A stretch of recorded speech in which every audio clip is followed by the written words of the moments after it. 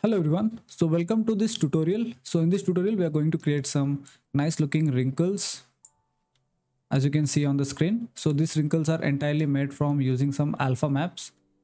So let us see how we can do this. So before this what I would uh, recommend you guys is check out the description where I have give, where I have provided some uh, links for the free alpha maps. So please download that and once you download that just create a folder and you will just copy these four zip files to that folder and after that extract them.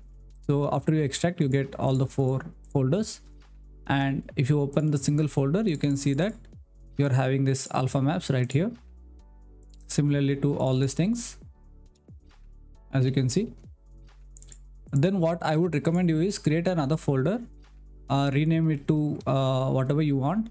And and just copy all this alpha maps to this folder so that you get all this uh, alpha wrinkles at one place.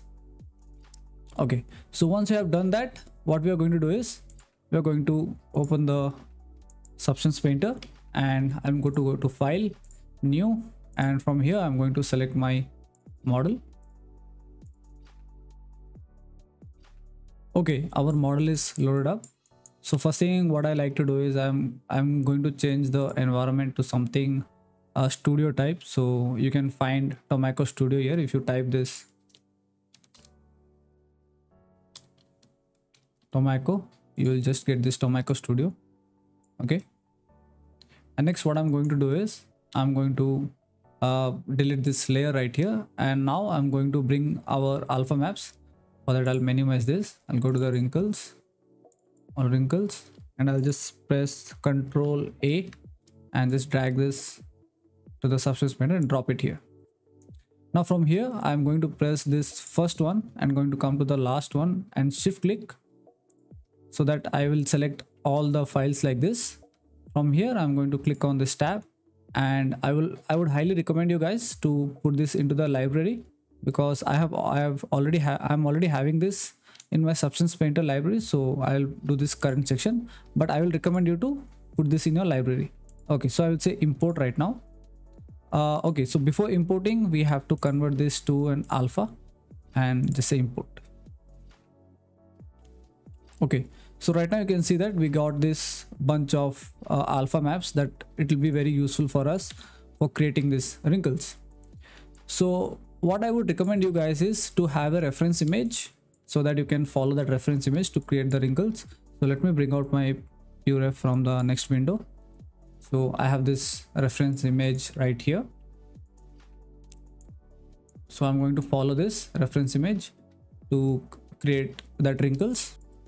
So what is my method of creating wrinkles is what i do is i just go to this tab right here. This is add fill layer. And what i'm going to do now is i'll just bring this next what i do is i just turn off everything and i leave this height channel on and i can slide this to negative value something like this. And then i'm going to right click here and say add a black mask. And on this mask i'm going to right click and say add a paint layer. Okay. So after this what we are going to do next is we are going to add a alpha map to our grayscale uh, tab right here. So let me find a good alpha map to replicate this wrinkles right here. So I'm going to drop this alpha right here like this.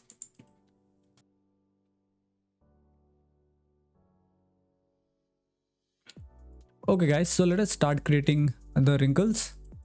So before that, let me go ahead and click once and see the rotation of the wrinkle so you can always rotate your alpha map by holding control and uh, left mouse button drag. Like that. Let me rotate to an appropriate position. Like this. Okay. So one thing i would recommend you guys is to turn on this symmetry button right here because uh, alpha creating creating wrinkles itself is a tedious process but once you create with symmetry this will uh, copy from left to right. So you can always go ahead and modify your wrinkles to make it look imperfect. So let us start creating the wrinkles then. So i'll just click once like this and i'm going to hold i'm going to go for the smudge tool right here and i'm going to increase the size and decrease the flow to somewhere around 25 and i'm going to drag it like this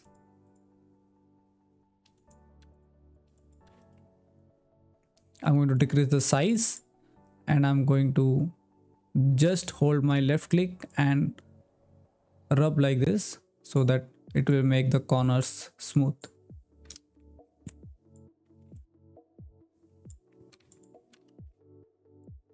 You can also go for your eraser tool and right click and reduce the flow and start erasing these corners. And also the wrinkles that you don't like. Like that.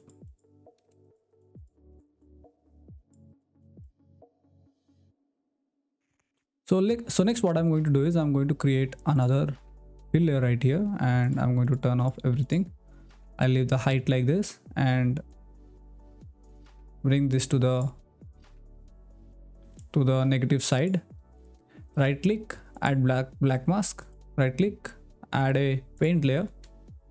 And what i'm going to do is i'm going to come to the paint layer right here. And i'm going to decrease the size of this brush and click here like this okay why did i create a different layer when i could have created the wrinkle in the same layer? Because when you want to modify this uh, this wrinkle right here which is in the middle and when you want to erase the parts you should like if you create in this in this in the same layer while erasing you are going to mess up the big wrinkles. So that is the reason I have created a different layer right here. So let me go and use the smudge tool like that.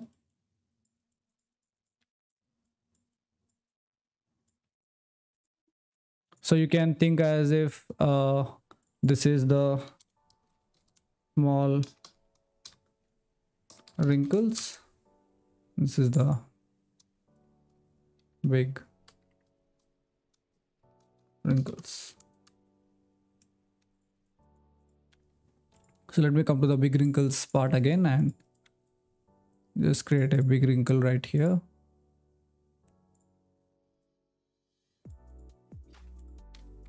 Like this. I'm going to use my smudge tool and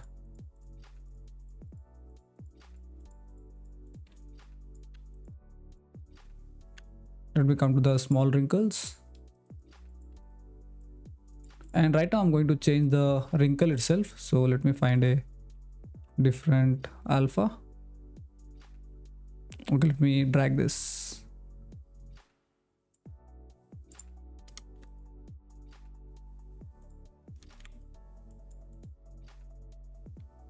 Okay let us see how it is looking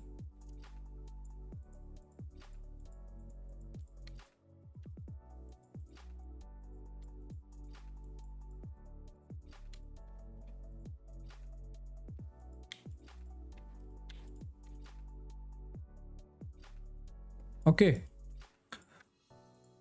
So let me go ahead to the paint tool again and I'm going to drag and drop a different wrinkle.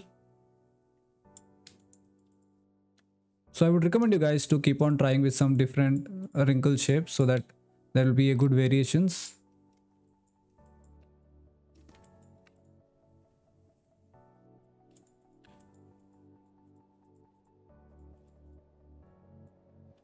like that.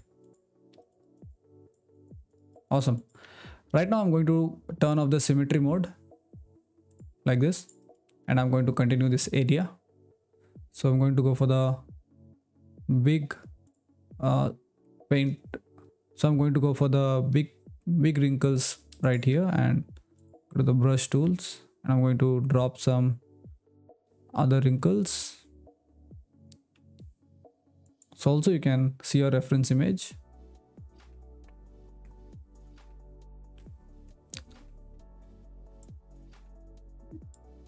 So i'm going to use this wrinkle right here. I'm going to increase the size like this. I'm going to click right here and use my smudge tool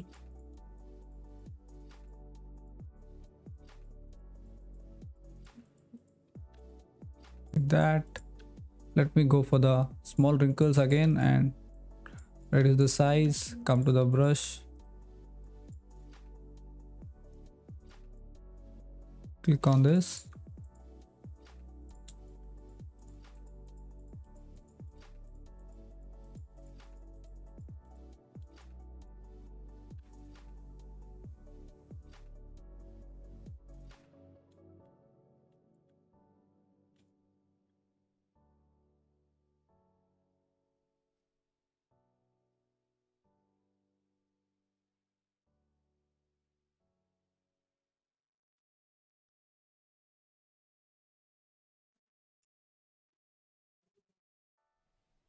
okay guys so you can see that uh, by using this method you can create some really nice wrinkles like this. So i would highly recommend you guys to spend a good amount of time and use some good amount of wrinkles to create this type of uh, wrinkle effect.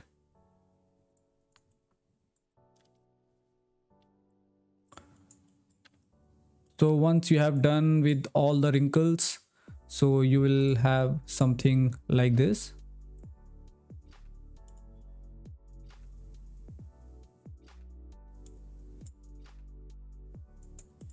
As you can see that so this is the same method what i have used and after you complete wrinkles from all the sides you will get a really nice wrinkles pillow that you can use in your project okay guys thank you very much. And this is it for this video. And i'll see you in my next video. But till then do subscribe to my channel. And also hit that like button if this video really helped you. Thank you